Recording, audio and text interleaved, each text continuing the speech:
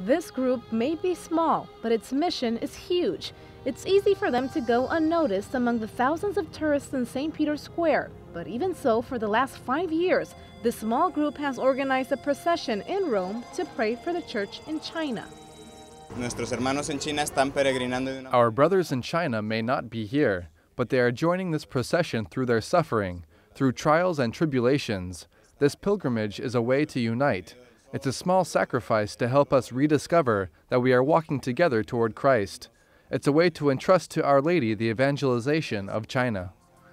The procession is held every 24th of May, which is actually the day Benedict XVI dedicated to pray for the church in China. On that day, a very popular image of Our Lady is celebrated in the sanctuary of Sheshan in Shanghai. In Rome, she's venerated with a procession from St. Peter's Square to the Basilica of St. Mary Major, where Cardinal Julian Herranz celebrates Mass. We are in the month of May, which is the month of the Virgin Mary, so it's important for us to be here in Rome and lead a procession to St. Mary Major to pray at her feet and together with the successor of St. Peter entrust her with our prayer. The situation of Christians in China isn't always easy. In fact, some of them have left the country altogether. So this group is focused on strengthening the faith of Chinese Christians wherever they may be. Se llama China Prayer Group.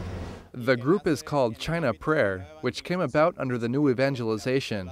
It's a group of prayer and ministry for Chinese in China, or even for Chinese who migrate to other countries, which is quite common. And so, even though the group is small, its initiative is powerful.